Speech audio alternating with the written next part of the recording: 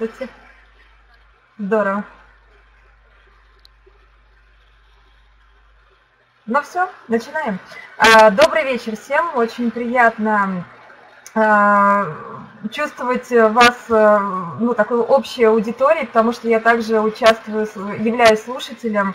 А, и э, сегодня с Наташей мы с вами будем рассказывать о том, как внедрять коучинг в образовательную организацию, стратегии, опыт и преодоление сложностей.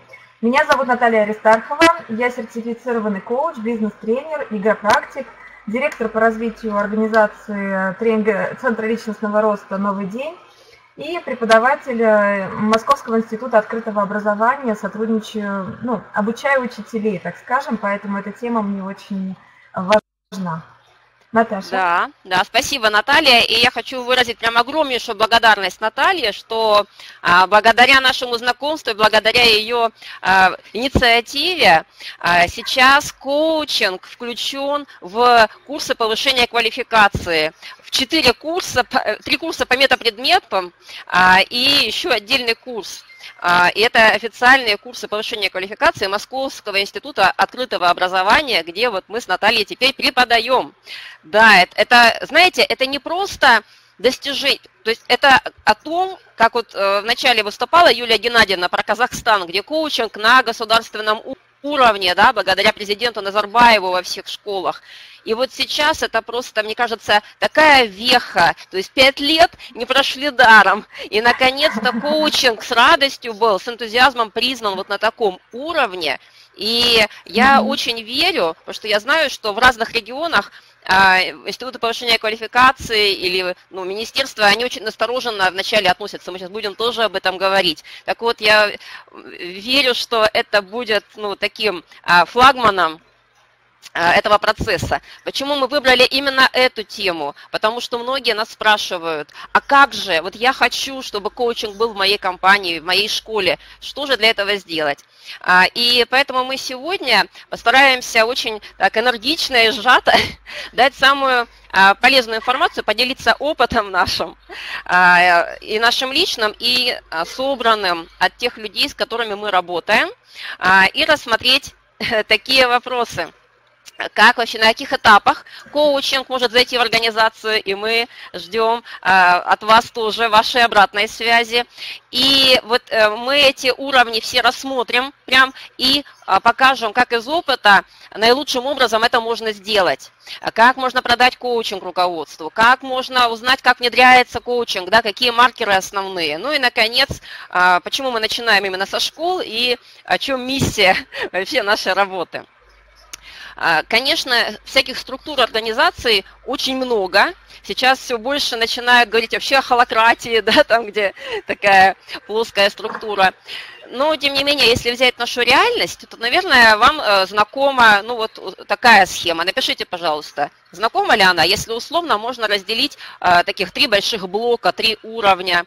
Э, в каждой организации. Это уровень а, директора, топ-менеджера, собственника, да, то есть самый-самый такой высший управленческий состав. Затем идет а, а, идут те люди, которые являются менеджерами, то есть они подчиняются высшему руководству, и у них также есть сотрудники. Здесь на этой схеме мы объединили вместе и школы, и любые другие организации, потому что мы работаем и там, и там с Натальей в бизнесе, и со школами, и мы видим, что это абсолютно одинаковый процесс, и поэтому мы можем этот опыт а, транслировать из одной сферы в другую. Поэтому здесь на одной а, схемке сразу у нас справа про школы, а слева про другие компании. Напишите, поставьте плюсики, у кого такая компания, кто работает в компании с такой структурой. И можете, кстати говоря, написать, на каком уровне вы себя чувствуете, кто вы, где вы. Вы э, директор, или вы завуч, или HR, руководитель отдела, или вы сотрудник, учитель. Да. А, и, да, руководитель отдела, примерно, да. Ну, мы примерную схему. И мы сейчас посмотрим все три уровня, откуда может прийти коучинг в организацию. А, и начнем сверху. Угу. Да, Наталья, добавляй. В организацию или в школу? В школу, в ну, школу как, или в школу, да. Как да, образовательная да. организация. Мы, конечно, сегодня будем делать да. упор именно на образовательные организации, потому что вся конференция угу. об этом и проект об этом. Да, вот, завуч, специалист, да, преподаватель. Угу, да, спасибо. И вот если мы возьмем а, первый, а вот, кстати говоря, видите, у нас есть не только школы, да, есть и представители компаний, поэтому будет для всех, я думаю, интересно и полезно.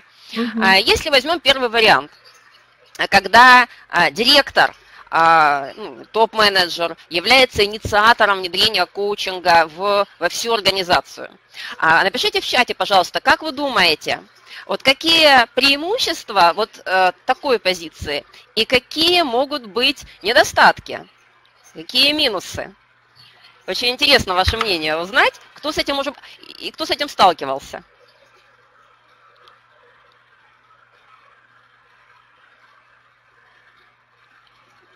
Пока вы пишете, я могу привести несколько примеров. О, да, Евгения, спасибо. Да, с головы очень многое начинается. И когда есть поддержка высшего руководства, то это ну, э, в какой-то степени обеспечивает то, что проект будет жить. И э, опыт самых успешных в этом плане школ, где системно на всех уровнях внедряется коучинг, это те, где именно директора были инициаторами. Это вот Виктория Сергеевна Евтихова, которая сегодня выступала утром. Э, это э, Екатеринбургская школа, Корифей, э, Мария Калужская. Э, вот мы недавно были в школе в Сочи, э, в Сыктывкаре. То есть когда директор горит, когда директор предлагает это дальше и сам является коучем, вот как Виктория Сергеевна. И об этом же, собственно, были выступления наших коллег из Казахстана, да, когда с уровня президента вообще все идет. Но при этом какие могут быть минусы, и они часто бывают. Ага, вот учитель заходил, генеральный директор нет. Ага, да. Угу. Неприятие простых смертных. Да. Вот, спасибо, Денис, что вы написали. Вот э, коучинг, он несовместим с директивным стилем. И если вдруг руководитель, и с этим тоже я сталкивалась, сам по себе директивный, и так директивно решил внедрить коучинг, то у него ничего не получится. И опыт есть, не получается. Он вызывает сопротивление. Э, я слышу от учителей, ой, боже, сейчас она нас опять коучить начнет. И я в удивлении думаю, как это так, почему люди в такой панике. А потом я вижу, как коучат, да, силой заставляют рисовать колеса, и это, конечно, ну, совсем не то. Поэтому вот если посмотреть на успешную модель внедрения коучинга именно сверху, а мы сейчас посмотрим все три уровня, а, то самый оптимальный и подтвержденный опытом путь такой. Вот если а, есть здесь руководители, которые хотели бы внедрить коучинг, напишите, пожалуйста, в чате, если здесь те, к кому вот сейчас мы можем обратиться и показать вот эту дорожную карту. Напишите в чате. И первый шаг – это когда сам директор вначале становится коучем. То есть сам директор идет на самые лучшие курсы, и там обучается, и потом еще берет свою команду. Это то, с чего началась, например, в Красном Сулине, да, вся эта история. И когда сам руководитель является ролевой моделью коуча, когда он не директивный, а когда он лидер-коуч, вот только с этого э, и может начаться весь процесс, исключительно. Для этого ему самому тоже нужны коуч-сессии. Если он верит в коучинг и видит пользу как клиента для себя, он сможет это донести людям. И это первый этап. Второй этап это когда он предлагает, рассказывает о коучинге и предлагает только желающим, только желающим сотрудникам пройти обучение. Пусть это будет небольшая группа, но это будет группа только желающих. Никого силком нельзя затягивать. Коучинг и сила несовместимы. Что происходит после этого? Те, кто обучились, они начинают применять коучинг и делиться своими результатами. Они проводят открытые уроки, вот как в Красном Солине, да, они выступают на конференциях. И таким образом а, другие учителя видят же результаты, видят, что что-то получается. И тогда организуется вторая волна тренинга. И потом проводятся всевозможные встречи, собрания в формате коучинга, и круг замыкается, да, и все больше и больше людей вовлекается сюда. Вот я смотрю, что вы пишете. Да, да, угу. Совершенно верно. Так, сейчас я отвечу тоже на все вопросы. Хочу дальше передать слово Наталье, пока буду читать чат. Второй уровень. Угу. Да. Угу. Второй уровень, когда со стороны либо зауча, либо HR, HR внутри организации. И здесь такой вопрос также стоит, что с одной стороны HR налаживает коммуникации с теми, кто непосредственно имеет контакт с сотрудниками, с другой стороны он также должен сохранять интересы компании, не может делать это в обход э, топ-менеджера, поэтому ему необходимо поддерживать коммуникацию и с топ-менеджером или с директором школы в том числе. И, э, и постоянно держать контакт, э, говорить на эту тему, но это не значит, что он только на эту тему будет говорить, но эта тема должна оставаться в фокусе внимания, и нет-нет, к ней необходимо возвращаться для того, чтобы все-таки директор или топ-менеджер понимал, что происходит в их компании. И, конечно, нужно разрешение со стороны HR а, на, пускай не на всю компанию распространение, но на какой-то кусок, где э, можно с точки зрения директора или топ-менеджера проэкспериментировать, э, для того, чтобы получить результаты, показать, как это работает и насколько это э, могло бы быть полезно для других сфер организации. А, Эм, здесь э, получается, что важно также найти того, кто из сотрудников или начальников отделов э, э, вместе с HR готов внедрять это, готов инвестировать свое, свои средства. Иногда потом люди, когда начинают не сверху, организация не оплачивает, они идут обучаться за свой собственный счет. А, и а, тогда э, он находит союзников таких, кто готов также развиваться и достигать каких-то успехов, и вместе с ним начинает э, получать какой-то опыт и параллельно разговаривает э, с директором или топ-менеджером. Да, популяризировать, Денис, абсолютно так, абсолютно на правильном пути двигаетесь. Ну что, а, следующий вариант, когда сотрудник или учитель э, первый загорелся этой идеей. И э, когда э, никто другой, ни HR, ни зауч, ни топ-менеджер, ни директор не говорят об этом. А, у меня был такой опыт, так как я стала заниматься коучингом, изучать его с 2008 года, то на тот момент все а, не понимали, чем я занимаюсь, и когда говорила я, ну, рассказывала про ту самую коммуникацию, которая есть в коучинге, то люди на самом деле спрашивали, а ты не в секте или какой-то там существуешь, и там уходи оттуда, и все в таком духе. Но вот я внутри чувствовала, что это мое, потому что меня коучинг восхитил тем, что он э, верит в природу человека и позволяет человеку самому раскрываться как цветок и э, сталкиваться со своим потенциалом. И на самом деле, кто вел коуч-сессии, это уникальная а, сопричастность к этому рождению, когда у человека появляется новая цель, и в этот момент человек становится как будто бы больше, он начинает от него идти энергия намного больше, и это удивительное вот рождение этих идей внутри человека, их задач новых, оно не может э, не вдохновлять на самом деле. Поэтому это просто удивительно, когда человек начинает видеть свой путь, и ты фактически ну, помогаешь рождению э, вот этих идей и рождению нового пути человека. Это уникально, конечно, просто ну, переживание, я бы так сказала. И э, э что здесь важно? То есть, э, если вы инноватор-одиночка, что здесь необходимо? Первое, про что я и сказала, необходимо самим вдохновиться коучингом. И, конечно же, не стоит сразу же нестись и наносить всем, как говорят, непоправимую пользу до тех пор, пока вы не проверите на себе, а работает ли это. И поэтому, конечно, необходимо с, с, с самим собой проводить коучинг, либо найти коуча и э, для себя понять, э, правильно это или нет. Э, ну, как, как имеется в виду неправильно, когда кто-то оценивает, а чтобы вы сами ощутили, какую пользу лично вы даже получаете на собственном опыте. После чего необходимо, конечно, э, следующее, ну и параллельно рассказывать о коучинге и заражать этой идеей э, развития, по сути, вы заражаете идеей развития непрерывного совершенствования других людей. И, э, конечно, как вот Дениса говорит, э, проводить коуч-сессии, собирать э, успешный опыт. И если человек успешный опыт лично, так же, как и вы, получил, можно предлагать э, это делать больше там, на команды, на классы, на, э, там, пускай три человека, но это уже группа людей, которые могут достичь большего, э, большего чем если бы они работали без коуча.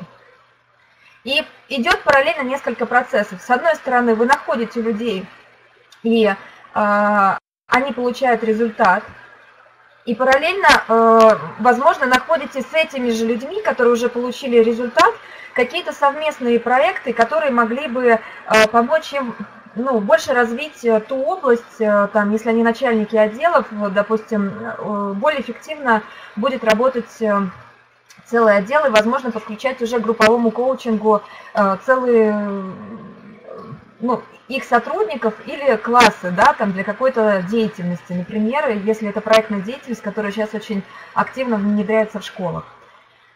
То есть параллельно вы работаете и с группами, и параллельно работаете э, с вовлечением новых людей.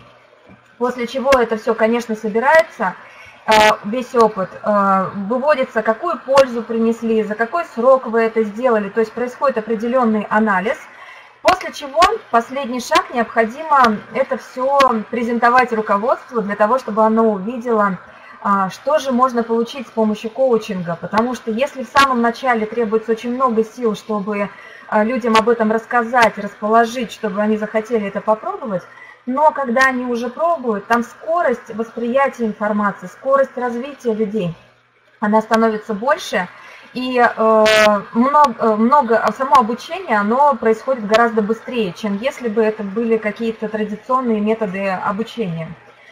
Э, ну, самое важное здесь, э, что необходимо сделать, это, конечно, презентовать руководству. Э, как это сделать? Это очень тонкий момент, э, потому что э, иногда э, по здравому смыслу, казалось бы, вы сделали, провели много коуч-сессий, возможно, они не входили в ваши функциональные обязанности, то есть когда вы что-либо внедряете по собственной инициативе, вы делаете свою, свои функциональные обязанности и плюс это делаете дополнительно, так как, как вы понимаете, никто это пока еще не оценил, никакой важности э, это ни для кого не имеет, и вы это делаете, ну, по сути дела, для себя или ради своей собственной идеи. Так вот, когда вы приходите к руководству, помимо того, что у вас есть опыт, необходимо понять, а что важно для конкретного руководителя, что он ценит и какие цели на развитие у него есть. Или, может быть, у него вообще цели на развитие нет, но он э, хотел бы, например, поднять свой статус и Э, перед районным э, э, ну, в районе показать, какой, какая у него сильная школа. То есть, возможно, его, ему интересен только статус. Так вот, важно понять в разговоре с руководителем, конечно, не напрямую спрашивая, что для него важно. После чего преподнести результат. Он должен быть обязательно структурирован и понятен для того, чтобы человек, который с этим не сталкивался, смог сделать выводы те, которые вы хотите донести. Таким образом, э, вы несете информацию, что вы описываете, что вы сделали и с кем, а, какой результат получили и а, за счет чего, как вы считаете, вы это сделали. После чего а, вы делаете рамку немножко шире, и вы говорите, какую пользу это может принести для конкретного руководителя, для организации, то есть для школы целиком, и пользу она может получить. Если возникнут у вас какие-то вопросы, у нас тут осталось э, с Наташей 7 минут, я готова на них ответить в чате, вы, пожалуйста, их пишите, я с радостью отвечу, вот именно для того, чтобы не задерживать следующего спикера, пока я не смотрю то, что вы написали, э, вижу только отдельные обрывки, вот Евгений про сарафанное радио абсолютно так. А, двигаемся дальше, а, и здесь э, необходимо, необходимо группу поддержки создавать, э, конечно же, людей э, создавать такое пространство, где вы можете уже общаться, как сообщество такое получается, для того, чтобы люди могли обсуждать свои успехи, или, ну, если они хотят, да, а, как это у них получается. И Наташа вот еще сейчас дополнит, какие конкретно действия можно сделать непосредственно. Да, спасибо, Наталья. Наталья. И прямо вот с этим чаще всего мы сталкиваемся, потому что э, наш проект, э, он направлен э, на все три уровня, но больше всего, конечно, мы работаем с учителями, и в нашем конкурсе на бесплатное обучение коучингу, который инициировал Международный Эриксоновский университет коучинга. Сейчас подхватил ICP-центр. Сейчас будет еще чистый язык. И, может быть, мы приглашаем все-все тренинговые, коучинговые школы тоже к этому конкурсу присоединяться. И э, проходят обучение как руководители образования, так и учителя. И очень часто наши выпускники, они сталкиваются именно с этим. Я один в поле воин. То есть я пришел, вот напишите в чате, если такие люди здесь, вы обучились коучингу, вы пришли и, и вы одни. И вот этого ни в коем случае не должно происходить. Во-первых, помните, что вы не одни, потому что есть огромнейшее пространство единомышленников. Вот даже сейчас нас вечером третьего дня 46 человек. Первый день нас было около 100. Смотрите, как много людей. Да. Поэтому в первую очередь вот прям участвуете во всех э, наших мероприятиях и сами инициируете, предлагайте ваши темы вебинаров. Говорите, я хочу быть спикером на следующей конференции. Э, и описывайте ваш опыт. Мы с удовольствием его публикуем. И смотрите, когда у вас есть публикация на таком большом портале, то это уже для вас, это ваш, ваш пиар в школе. Вы можете уже показывать, смотрите, я не просто какой-то ерундой занимаюсь, а меня публикуют. Это ваша копилочка для убеждения, да? И а вот результаты ваших учеников, как показывает опыт, как рассказывают нам педагоги, что их ученики потом идут к другим учителям, и те видят изменения, и начинают спрашивать, ой, а что такое вы там делаете интересного? И у вас начинают интересоваться. И тогда можно провести открытый мастер-класс, открытый урок вообще с детьми, вот то, что Красный Сулин регулярно делает. Можно выступить на конференции, то, что во Владивостоке, Хабаровске делают, да, вот Елена Хаджир прям целое направление э, развила огромнейшее. Дальний Восток, напишите, если кто-нибудь у вас уже утро, наверное. А, пожалуйста, проявляйте активность, и тогда вы увидите, что начинает расширяться вот это поле а, взаимодействия. Да, и вот как сохранить энергию для того, чтобы двигаться? Наталья? Да, а, да, это очень важный момент, потому что если вы один в поле, э, с одной стороны, необходимо, конечно, первый рецепт – это поддержка сообщества, вот то, о чем сейчас говорила Наталья, это очень важно. А с другой стороны, важно фиксировать э, свой собственный рост и сравнивать себя э, при, при условии, что вы в сообществе общаетесь, у кого-то есть уже больше успехи, при этом вы себя должны с самим собой сравнивать. И когда вы уви... Э, с момента, как вы только закончили обучение, например, вы уже обучили или уже в контакте, в коучинговом с двумя, там, не знаю, коллегами или с одним коллегой, с двумя учениками, у вас уже появился какой-то результат. Вот фиксировать необходимо эти вот маленькие-маленькие шажочки успеха, которые позволяют вам видеть, что вы не стоите на месте и не теряете при этом ну, энергию внутри. А, необходимо сравнивать и обязательно фиксировать успехи. А, сегодня провели сессию, а, зафиксировали себе успех, это уже успех. Даже если вы в конце думаете, вот здесь можно было бы другой вопрос задать, и вот здесь немножко там ушла в консультирование, неважно. Важно то, что вы уже хотя бы половину сделали в коучинговом формате, потому что все-таки коучинг, к нему необходимо ну, научиться, то есть это формирование навыка определенного. А, общаться с единомышленниками из других школ, о чем говорит Наташа, создавать себе такие пространства, сообщества, либо вот найти, какие существуют, и здесь уже, конечно, для вас это уже не люди. И обязательно замечать и фиксировать, как меняется мир вокруг. В самом начале, если вы один, хотя бы просто замечайте и фиксируйте – Интересно еще фиксировать, когда вы, например, э, работаете с человеком, который очень-очень, ну, ребенок, который вообще не учился, допустим, никогда, и вы с ним поработали, вот обратите внимание, вот прям вам попрошу, кто еще только приступает к этому, через сколько этот человек начнет развиваться. Я потом можем даже с вами списаться и сравнить э, мои и ваши наблюдения – то есть наблюдайте за всем подряд, посмотрите, как коучинг меняет пространство, потому что меняется внутреннее ваше пространство меняется пространство вокруг. И это удивительные изменения, просто можно за вас порадоваться, что вы с этим можете столкнуться вот впервые сейчас, и это очень здорово. Наташа? Угу. Да, и у нас прям остается буквально ну, минутка, но если позволите, еще три, мы чуть позже начали, очень хочется еще важные вещи сказать. А, вот про системность. Вот Виктория Евтюхова показывала это, да, вы видели за ее спиной этот слайд. А, прям, а, кто, кому знаком этот ромб? Это ромб, который пришел из а, теории Мерлина Апкинсона «Четырехквадрантное мышление». Кому это знакомо? напишите в чате, и мы как раз можем по этим четырем квадрантам универсальным посмотреть, как, где, на каких уровнях можно внедрять коучинг, да, когда индивидуальное развитие, либо отношения в коллективе и, да, применение в практической деятельности, в учебе, в переговорах, где угодно, чем бы я ни занималась, я могу применять коучинговый подход. И как создается совместное видение нашего коллектива. То есть если посмотреть на организацию в целом, целостно, причем образовательную организацию или коммерческую, одинаково это будет. Какие есть маркеры, Наталья? А, здесь э, мы хотели вам привести пример. Э, пока мы с Наташей делали для вас этот э, мастер-класс, я вспомнила о том, что если применение в деятельности, коучинговый язык, учитель-ученик или ученик-ученик, э, когда это внедряется, э, я прошу прощения, шаг назад про индивидуальное, индивидуальное развитие, что первое, что появляется опора внутри человека, что очень важно в коучинге, он начинает видеть свои сильные стороны, на что он может опереться, это позволяет ему начать двигаться быстрее. И второе, что важно, человек берет ответственность за свое собственное развитие на самого себя, он не ждет, что кто-то ему поможет, он получает результаты.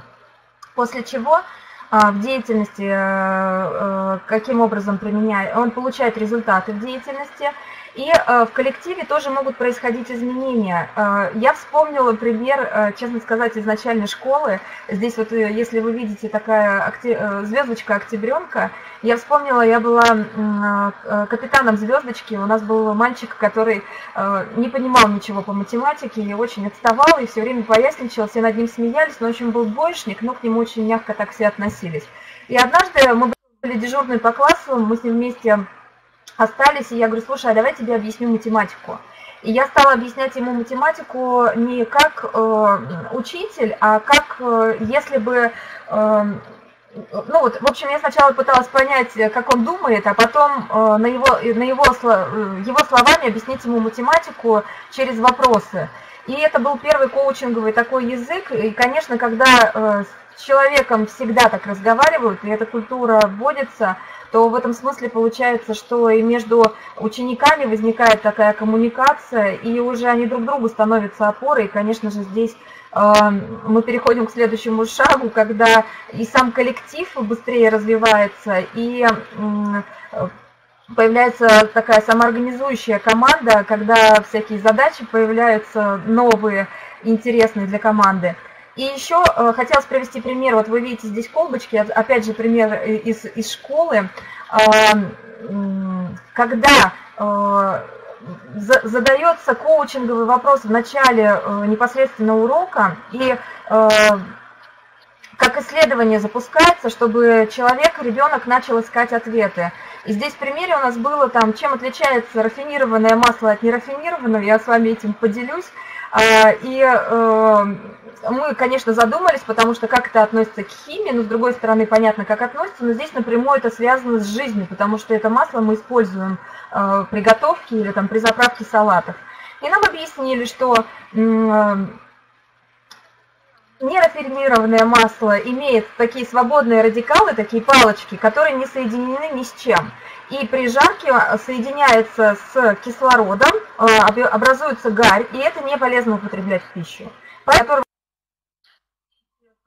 все эти свободные радикалы закрыты, и э, таким образом гарри никакой не, не получается, и это более полезно для еды.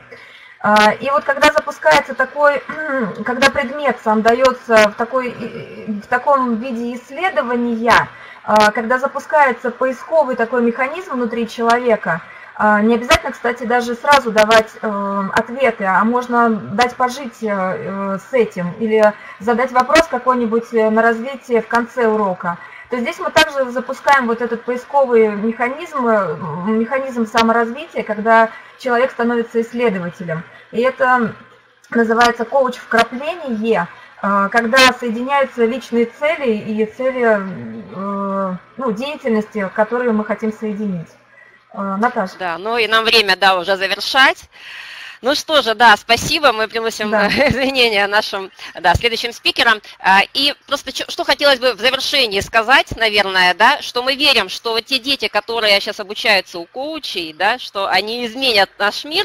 Ну и в самое завершение, просто вот этот слайд, посмотрите на него, что если инновации, если коучинг не принимается сразу, то это нормально. Есть такой закон, а, мы на сайт выложим эту презентацию, и можете вот э, просто с этим слайдом ознакомиться. Со всеми все хорошо хорошо. Ну что же, на этом мы с Натальей прощаемся. До свидания. Всего хорошего. Спасибо. Напишите в чате, что было ценного для вас. Да, и мы